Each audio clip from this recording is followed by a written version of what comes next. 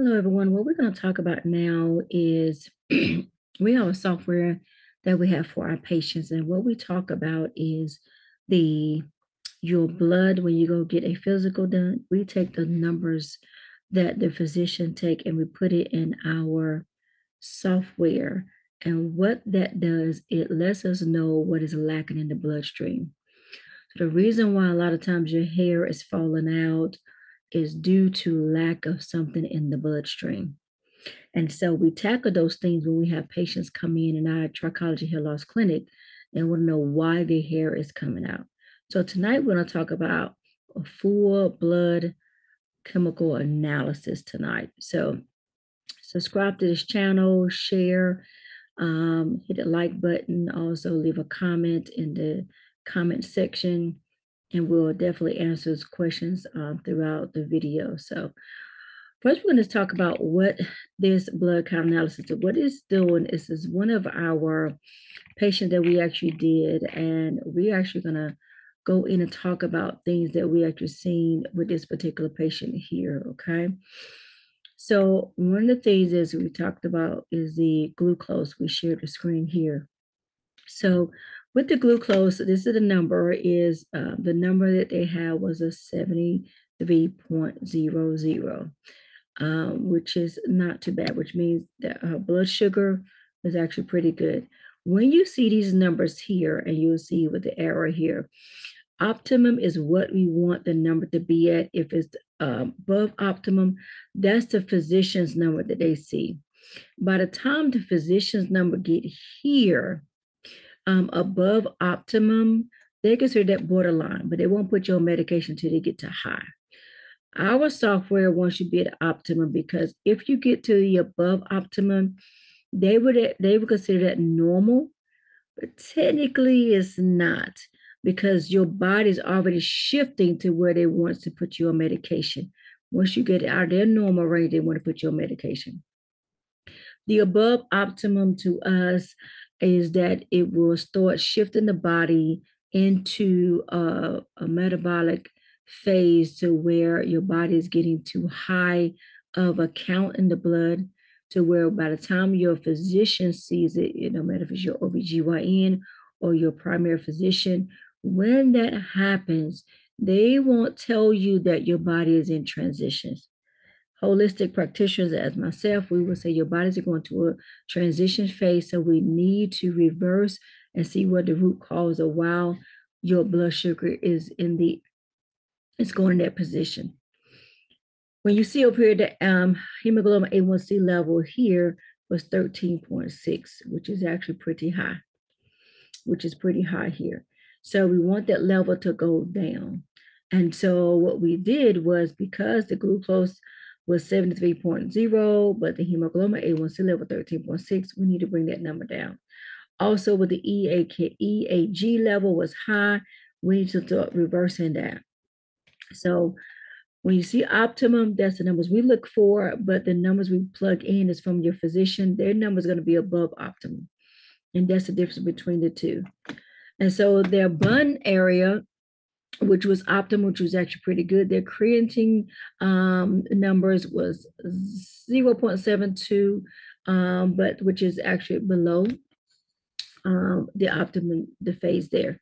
The electrolytes is also what we look at, the sodium level, chloride, sodium, the potassium, the CO2 is also what we look at. And so these numbers here were pretty normal. So her electrolytes was pretty good uh, metabolic um, was actually pretty decent. The protein in her bloodstream was good. The minerals that she's needing in her bloodstream was good. Um, we do have a few of her calcium was a little low with that, but her liver liver uh, was actually pretty good with this. All of her lipids. So when you start seeing all of these numbers here, this is what we look for. And as we her hormone levels, her uh, FSH. We always ask, especially a lot of females who are going through some changes, make sure they're going through menopause. We ask them to ask their physician to take an FSH count. They would not do it unless you ask them to. Okay. So, with that being said, it's a 3.30. which means she's not in menopause at all. Okay. So this person is post, uh, considered post-menopause here. Okay. So also the CBC is another thing we look for in, in the actual blood count, her platelets, her white blood cell count. So as we continue to go, we have a chart telling the hemoglobin level is up. And so what we look for, this particular patient here, you will see three of her the transition of this particular patient, three of the transitions of how we start reversing some things in this particular patient to bring the number that you see here that's high. Over the year you will see another another video that we will show. You will see how we was able to reverse the numbers. And what we did was tackle the root cause of what was lacking in the bloodstream okay? So this is just a chart. And again this is the optimum. The standard range is what the regular physicians the uh, physicians look at but holistic practitioner we look into this range here we want to tackle things before we get to these numbers because by the time it gets to the standard range, your body is already in that phase. It's just in the first phase. And usually physicians don't tackle this phase until it gets out of their range and then they put you on medication. What we do is that we don't want, once we start seeing it into above optimal range, we start tackling that immediately. Okay. So we're going to keep going down. Um, and so this is just another score report that we have here. And what we do is this is going to let us know as we keep going down. This is going to let us know what is lacking into the into the bloodstream. Okay.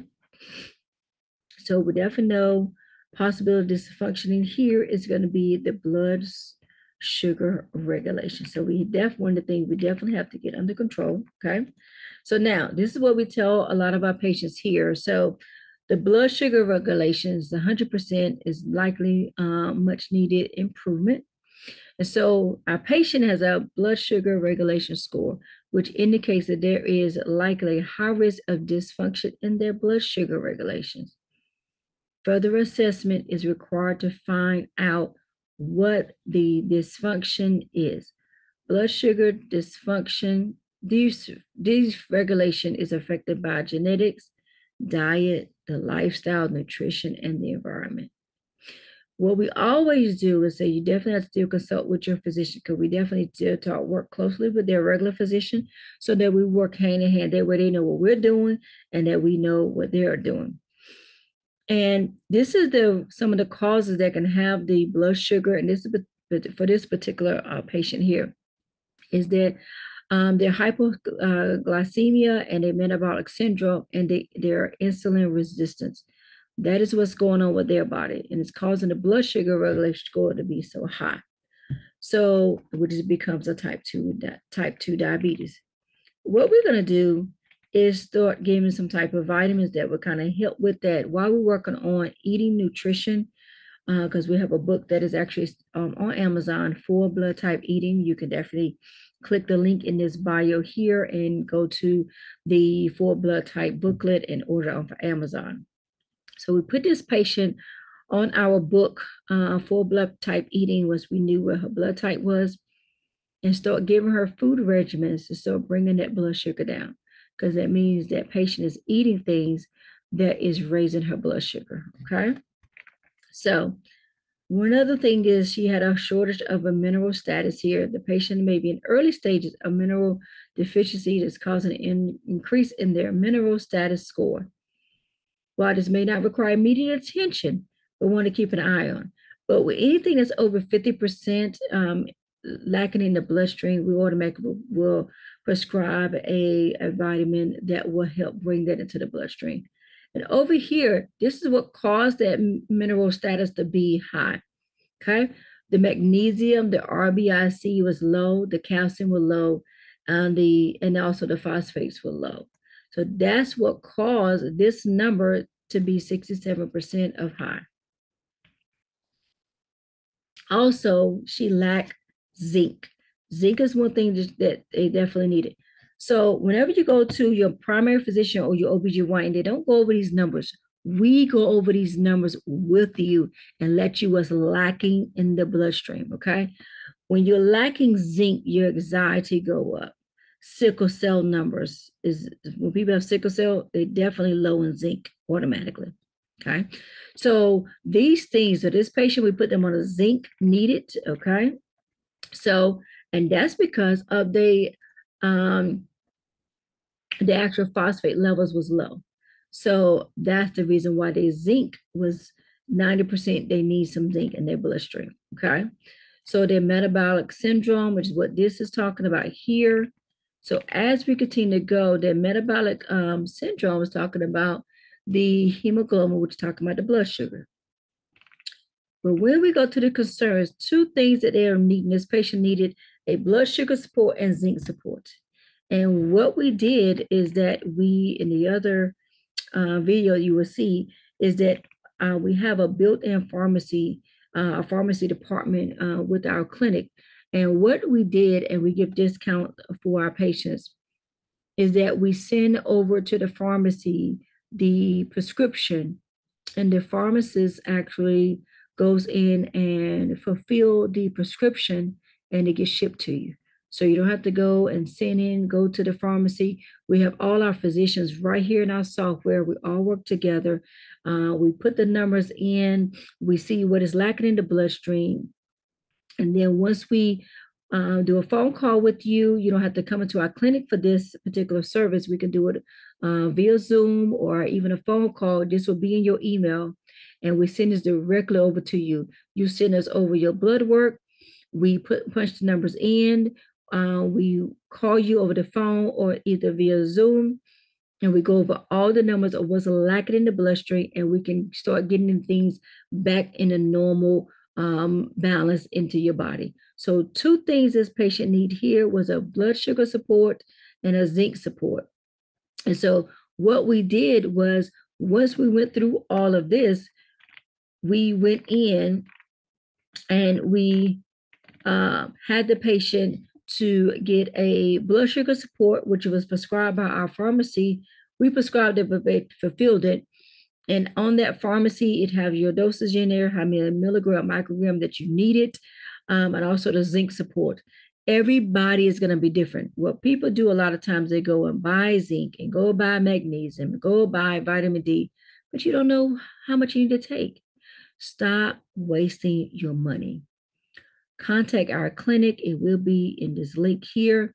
And you can definitely email us your blood um, numbers from your physical um, and make sure that you have your A1C levels numbers in there. If you are over the age of 40 and up, ask them for an FSH number when you go get your physical, when you get your blood work done, and then send those um, over to us. Uh, we will send an invoice to you um, for that amount. Um, I think we even have it for $125 now. So for 125, that is very, very good. We go over the numbers with you, and then we send you over to our pharmacy department. You'll get um, that's with our Fullscript department um, with the pharmacy that we have. Uh, we will have the vitamins that you need as lacking in the bloodstream because it's hard to eat the things you need to have. We also will put you on a food regimen if you're needing, depends on what's going on in your bloodstream. So this particular patient here needed a blood sugar support and needed a zinc support. And so we got to get into the bloodstream because this particular patient hair loss was coming out due to lack of the um the due to high type 2 diabetes, which they was on medication. Okay. So two things worked against the medication they was on, gonna definitely take some hair loss, take some hair out. And their hemoglobin levels was high and a lack in zinc in the bloodstream. So those three things worked against this patient. So what we did was start working on their food regimen. Then we started working on getting them some blood um, sugar support and zinc support. So hope this guy help you, hope this help you guys out just to understand what I what we do in our hair loss clinic, Trichology Hair Loss Clinic. We are located in Winston-Salem, North Carolina. But for this service here, you do not have to be in our city. You can email us your blood work. We can put it in our software. We will contact you, show you what vitamins that you need to be taking, have it with our pharmacy that will come directly through your email. You order, it shipped to you. Just that simple. So hope you guys subscribe and like and comment. And I hope this was very helpful to you. Um, and we will have more to come for part two on this video. Talk to you later.